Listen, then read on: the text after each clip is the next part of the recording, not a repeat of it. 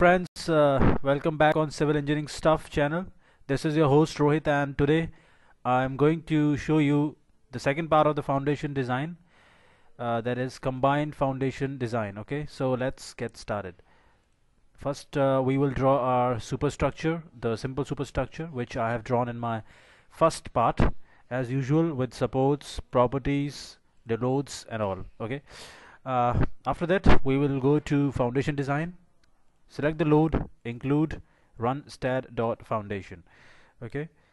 Now okay here is our foundation. As usual we have four farm footings and we need to combine any two footings to make a combined foundation okay?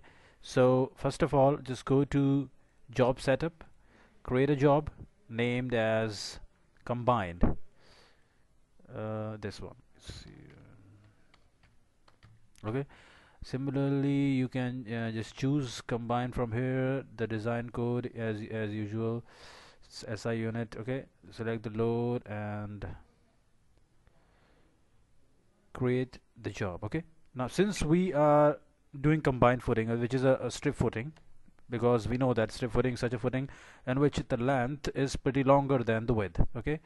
So just uh, okay first of all we have to choose nodes uh, of which we have to make a combined footing. So let's get uh, if I choose one this one and another this one okay?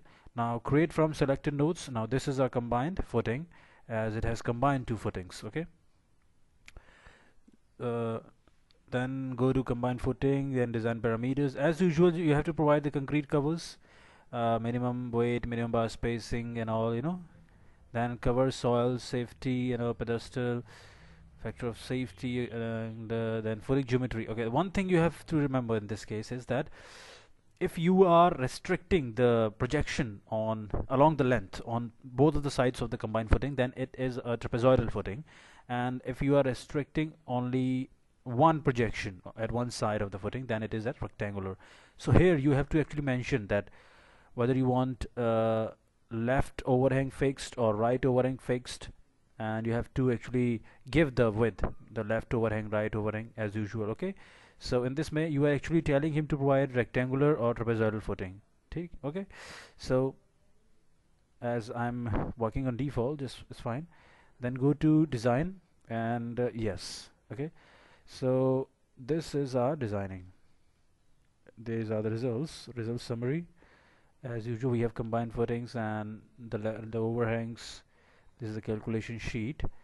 Mm, similarly go to detail and scheduling this is your um, detailing scheduling so many GA drawings okay?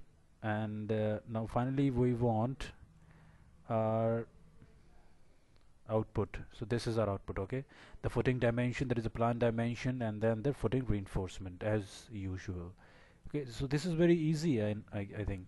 There is no need. But you just need uh, civil engineering knowledge a knowledge a knowledge of um, you know design parameters. That's it. Uh, thank you for watching and uh, be here for more updates on foundation and civil engineering stuff. Thank you for watching. Have a nice day